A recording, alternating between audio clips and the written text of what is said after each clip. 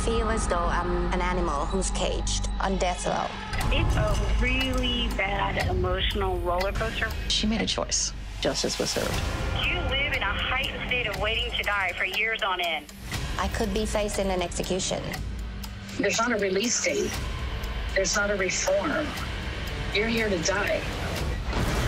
Women on Death Row.